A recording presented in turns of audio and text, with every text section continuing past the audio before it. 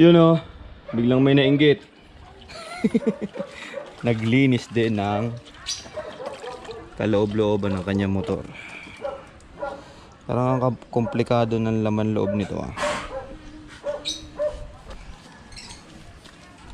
Yan, nainggit si Boss Richard eh.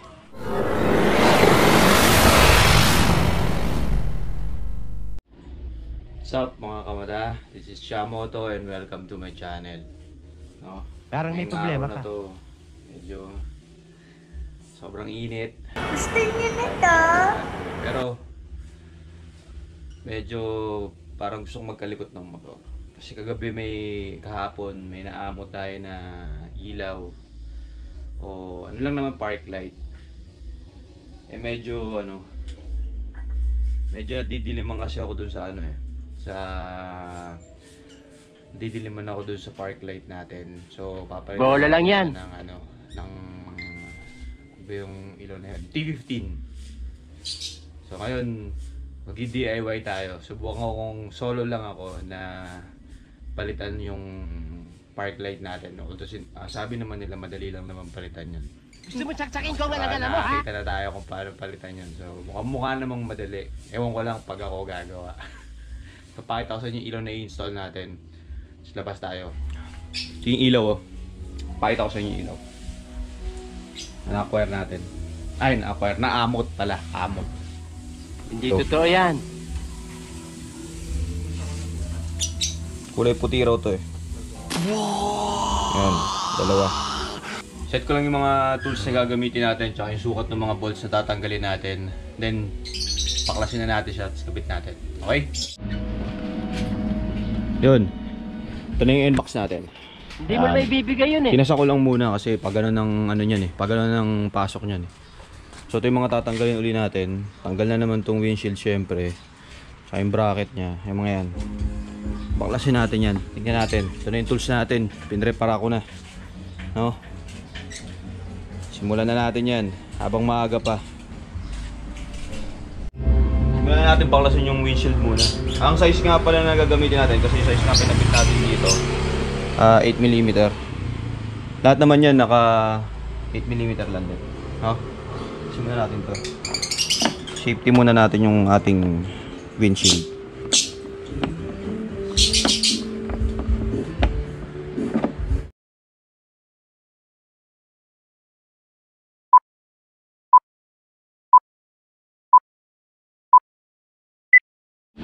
Kaso ano nila, kadali, may tatlo pang anak. Eh, kung naman sabi ko, di magpa, ano na lang siya. Hanap kayo nalagyan ng mga tornilyo yung tatanggalin nyo para Hindi sigurado na di mawawala. Yun ang usually na nagiging problema eh. Pag bali ka na, nawawala yung mga tornilyo. Lalo na pag first time nyo, syempre. Eh, di katulad ko naman, eh, sabi nga namin, wala naman talagang nararamdaman. Wala kami kuko, wala kami laman. Tatlo lang naman yung natatanggalin yun ito eh. Pinakala- Pinakalabas ko lang, pagbubigyan lang sa, sa SM eh. Wala na. Nasukat nga pala nung allen na ginagamit natin, 4mm. Sabi namin, antay natin yung eraser. Una pa siya. Ito muna yung isang gilid mo muna, sa isang part mo muna atake. Tutunog naman yan eh.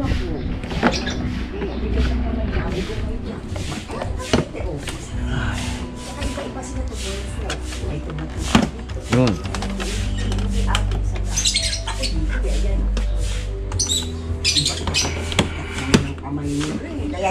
Ingatan yung pumutok ng mga pairings nyo. Yung mga lock niya. Tapos tugutin mo siya pataas. ano, nabigay mo sa kanya. Ayun ba? Yeah. Yeah, baby. Kaya ah. Yun, ulitin ko lang ah, yung mga goma nga pala na ganito. Ito yung nakalagay, tatlo. Ah, ito nakakabit siya. Oh. Ito siya, ito siya nakakabit pala. Yan, dito. Pagka natanggal siya o nawala mo to, luluwag na siya dito tapos haalog-alog na to. So, yan. Kaya natandaan natin yan. Maganda huwag mo natanggalin dyan. Balik. Yan. Kapa-kapa. Ay. Uy.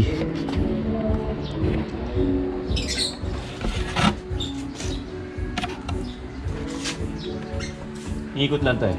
Parang sa kotse lang to. Hindi ko lang ba't di kamay ko.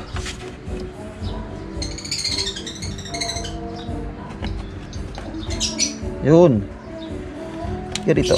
Come to Papa. Yun, tanggal na. Hugutin mo lang yan. Yan. Yung stock, yung luma. Na natin yung ating ilaw. Oo nga pala, pagka sinaksak mo siya, tapos hindi siya gumana, usually ganun eh, baliktarin mo lang. Di ko alam yung tawag nila doon eh, binabaliktad lang nila. So, mali lang siguro, baliktad ang kabit.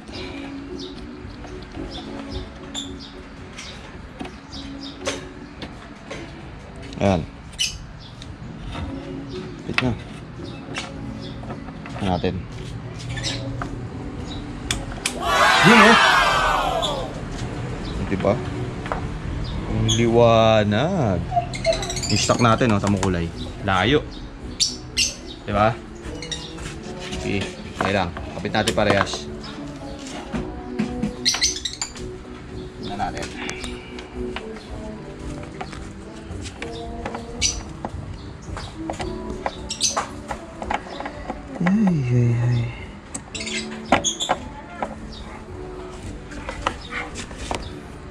Yun. Sumilip ka na, sumilip ka na. Ah. Hindi ka sa kamay ko. Okay.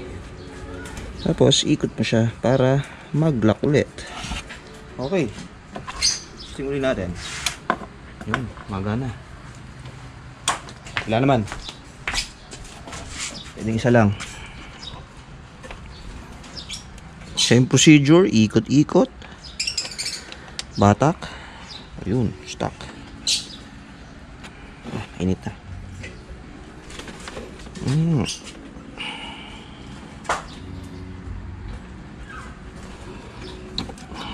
Ayan. Pwede ba itong tabi? Baka may paggagamitan pa kayo. eh. Ayan.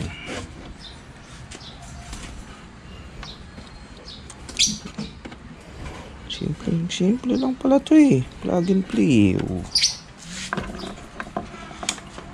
Yun oh! Liwanag. Mamaya testingin natin sa mas madilim syempre. Pakita ko sa inyo ng gabi. Yung Ah, madilim will you please repeat it? sinag niya sa la- liwanag. Ah, yung sinag niya sa gabi.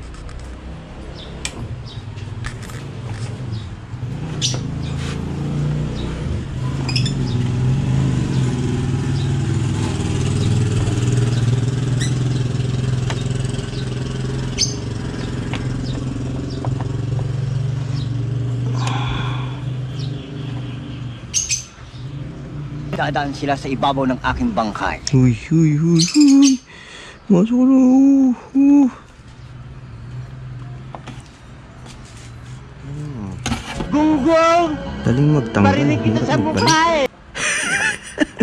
At ganon. Tatanggalin mo sandali lang pagka babalik mo. Napakatagal na.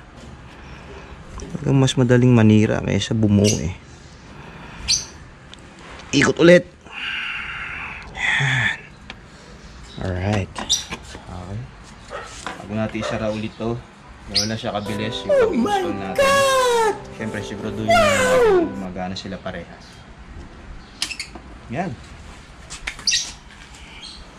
Liwanag, no? KKK. Gumagana ba lahat yung LED? Yan. Gumagana lahat. Nothing beats white wipe out, no? Dati pa tayo natin itong ginagamit. Eh, pwede naman to sa plastic, eh. Ano nakalagay? oh. Plastic. Oh. Since buksan na natin to, nagkaroon na rin tayo ng pagkakataon para linisin yung loob-loob nito. Medyo maalikabok na siya. eh. So, dalawa na rin yung purpose natin. Nagpalit tayo ng ilaw and then linis itong loob na to. Okay? Let's go! Basahan. Linis. Konti-konti lang. Sana huwag mamuti. Sana, no? Sana. Kapag namuti ito, sisi ka. sisi ka sa mga pinagpapapahid mo. Papachi-pachi kasi yan pagka pagka hindi sila compatible ng plastic tsaka yung chemical na ilalagay mo. Ano pa mang chemical yan. Nga naman hindi. Oo, no? Ilabas lang yung niloob lang nililinis natin. Ito naman kasi mga to, mga part na to. Pwede naman siyang linisin kahit nakas nakakabit na yan. Eh, ito mga to kasi natatakpan ng windshield, yung alam yun, mga bolts. So yung mga singit-singit niya, linisin na rin natin. Magandang papawis na yan eh. pawis ng papawis.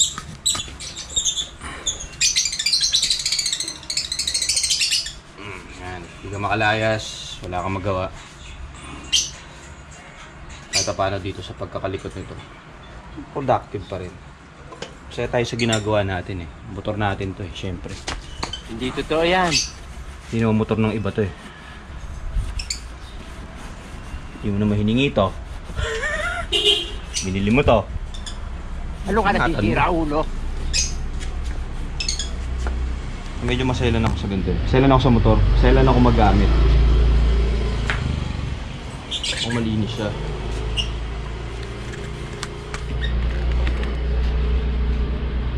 Para tumagal yung gamit. O yung mga bagay na meron ka. Ingatan mo. Kasi pag hindi, iwanan ka niyan. Parang may problema ka. Umuhugot ka. Umuhugot ka. Walang disiplina! Puro ka pang karnabal! Iwanan ka niyan. Sige.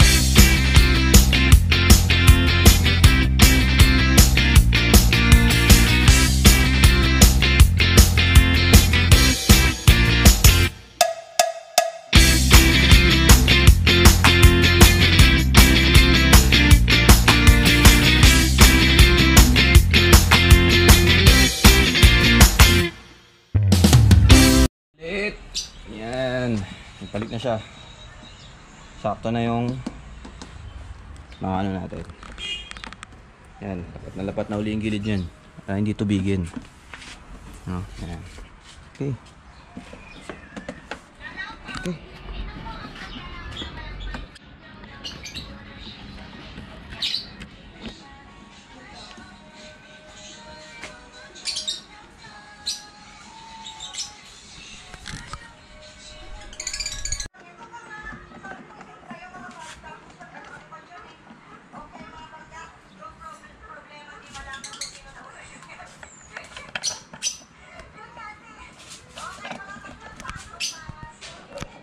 Wow naman! Kunti na lang. Wow! Successful na ang pagkakabit natin ng T15.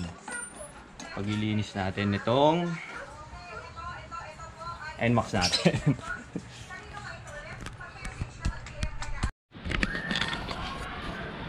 Yun oh.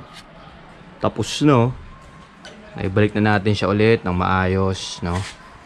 Yan. So, mas malaking tulong na yan sa ano, sa kahit pa paano makakatulong yan sa ano natin, sa headlight. Tingnan natin headlight.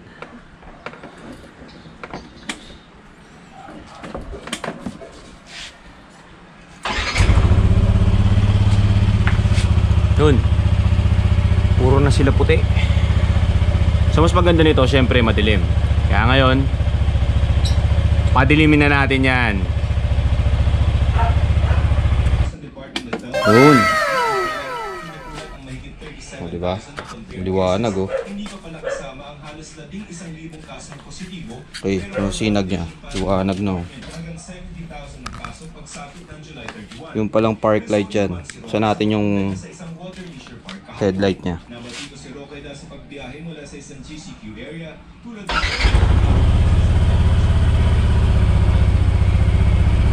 Maliwanag.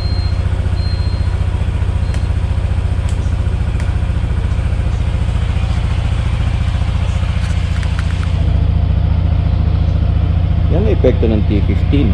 Malaking tulong siya sa headlight. Oh.